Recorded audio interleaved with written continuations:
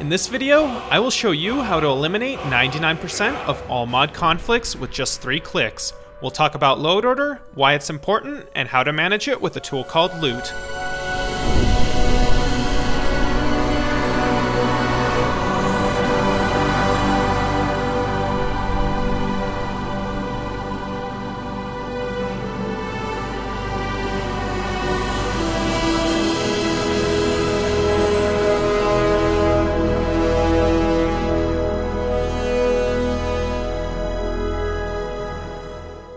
Before I get started, remember to like, sub, and comment. It really helps me out. I also want to point you all to my Discord. We got some really knowledgeable people over there that know way more than I do. Come say hi, and if you're someone that knows their mods and wants to help out beginners, we do need more moderators.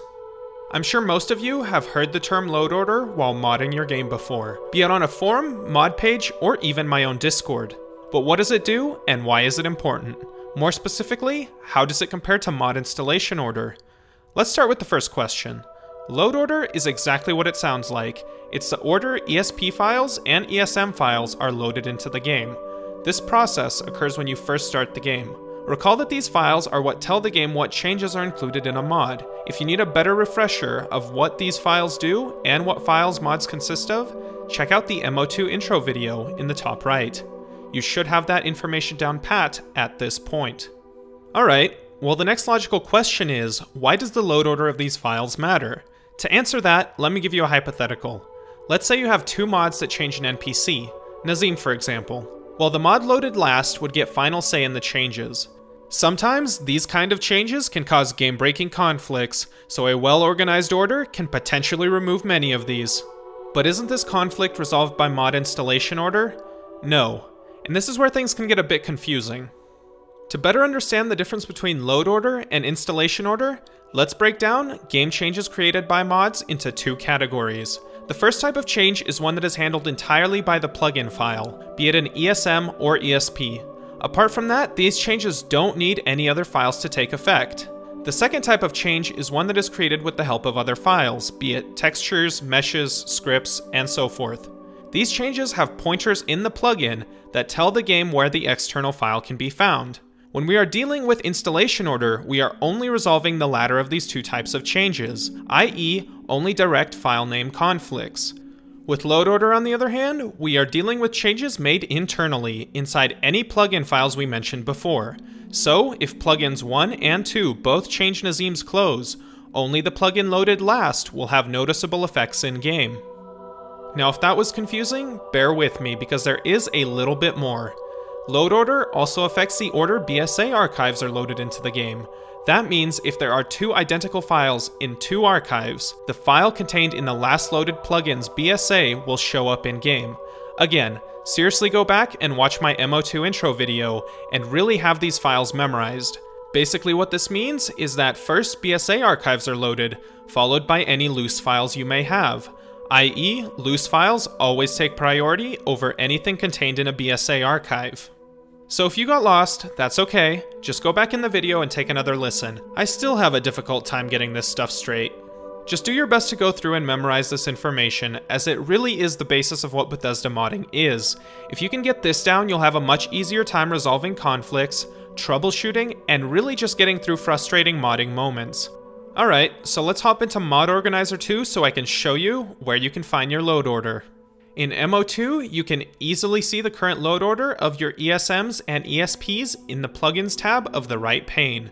If you click and hold any of the non-grayed out plugins, you can actually adjust this load order by hand. The grayed out ones are part of the base game, so Skyrim, the DLCs, and Update are all contained inside of your game folder. In the really olden days of Bethesda modding, before we had any fancy load order sorting tools, we would actually have to change this manually in the game's launcher. That meant actually knowing the changes created by each and every mod, then organizing them so that no game-breaking conflicts occurred, something completely doable with a few mods, but a much more difficult task with a hundred. Now while you still really should know the overall changes made by each mod, this type of complete knowledge is not necessary anymore.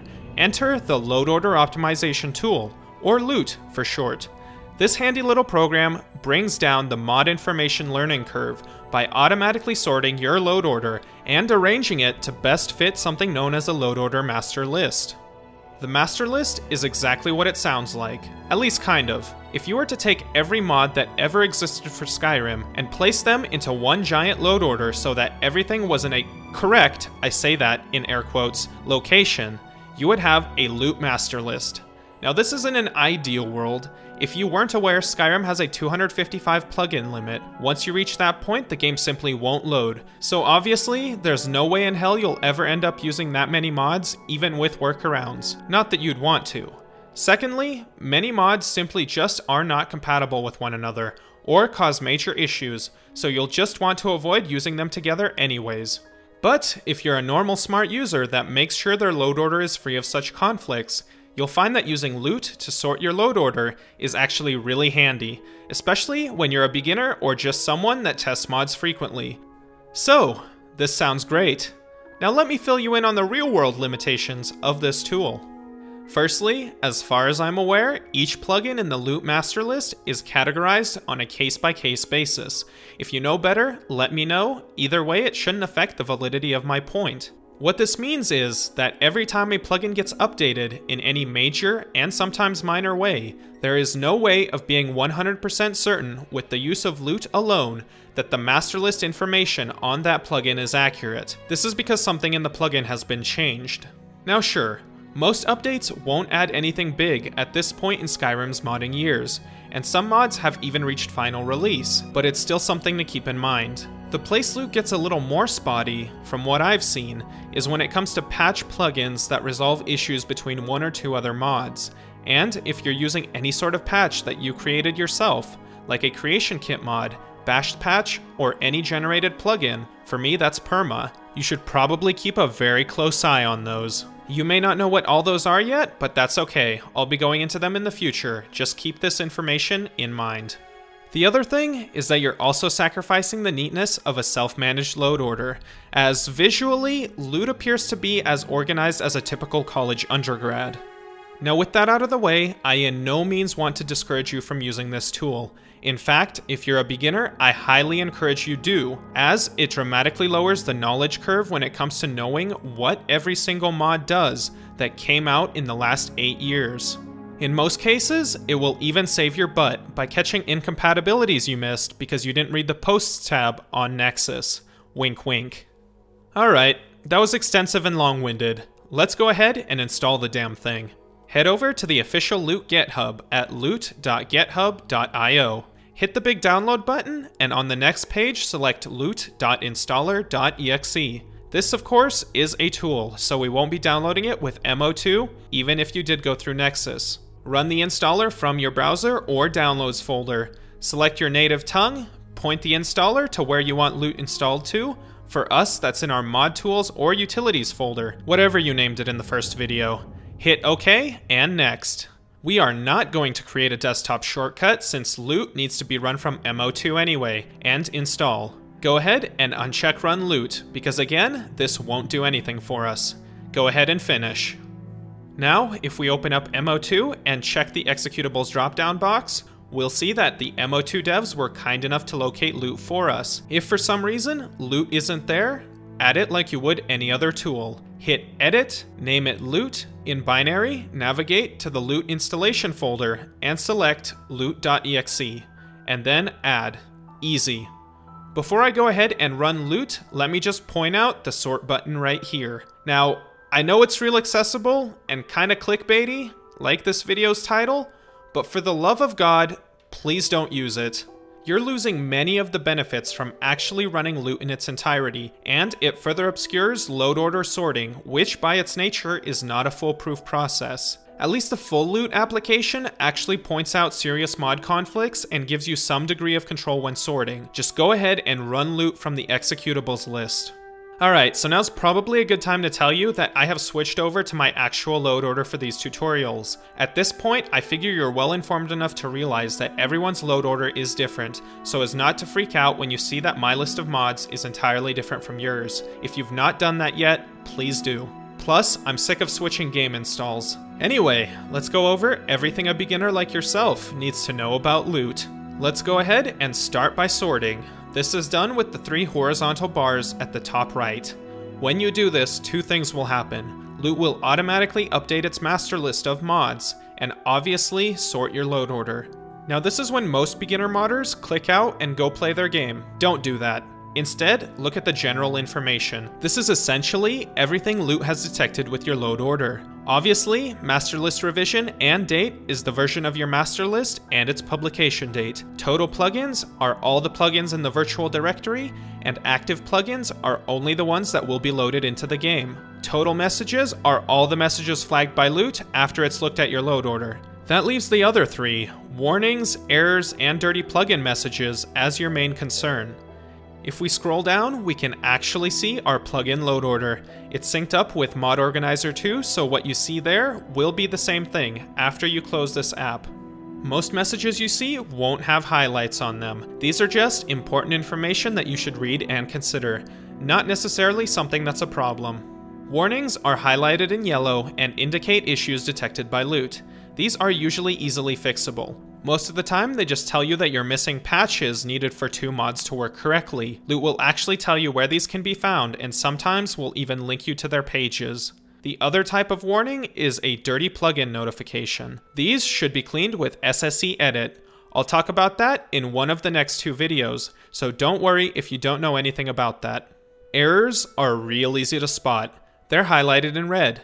These issues usually tell you that there are two mods that just don't work together, and in that case, your best bet would probably be to do more research into them and figure out why they don't work. Then, either uninstall one or live with the consequences. As you can see here, Loot tells me that Immersive Citizens is not compatible with JK's Skyrim. It even links us to the mod's compatibility page, but that is a load of bull. So take this as an example of a time when Loot is wrong. Remember, at the end of the day, it's your responsibility to catch these mistakes which is why I always suggest reading mod descriptions and posts. Let me tell you what's going on in my particular case. While it's true that Immersive Citizens was not built to be used with JK's Skyrim, and that Immersive Citizens will not retain all of its functionality, the average individual would be very hard pressed to find something out of the ordinary when using them together. This is one of those times where the loot developers are taking the mod author's words as a fact, but what they don't take into consideration is context. You see, the mod author of Immersive Citizens actually claims that all mods that alter the behavior of his in any way are incompatible.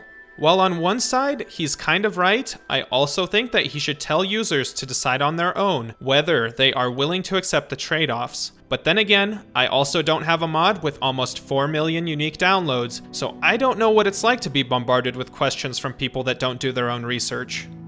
Or do I? Regardless, moral of the story is, loot isn't an all-knowing machine, so read everything it's telling you and decide for yourself if it's accurate. As you can see, I have a lot of other warnings as well. Most of them are for patches that I have merged, so loot doesn't detect those. The rest are dirty plugins that I'm keeping around for the SSE edit video. So now that I've looked over everything and made sure that nothing is unaccounted for, I can click apply at the top and this will save the load order. The final thing I want to show you is how to manually tell Loot where to load plugins. This is handy for when it makes mistakes loading plugins before something it's not supposed to. Of course, you can always do this in Mod Organizer 2 directly by clicking and dragging the plugins, but then you need to do that again next time you sort with Loot. The easier thing to do is to click the three dot icon for the incorrectly placed plugin. I'm going to show you this on the Dragonborn DLC, even though it has been placed properly. Select Edit Metadata.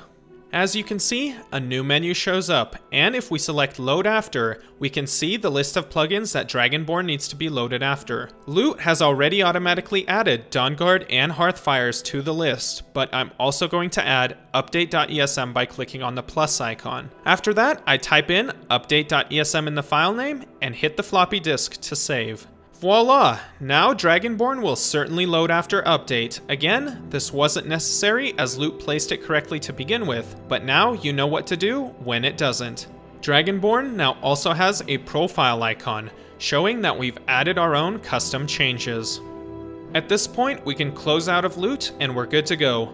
Obviously, there is more to loot than that, so you can explore it further if you wish, but this is the most important stuff. I will have a video in the future going over everything loot has to offer, but for now, this is it. Honestly, most won't need to know much more than this anyway.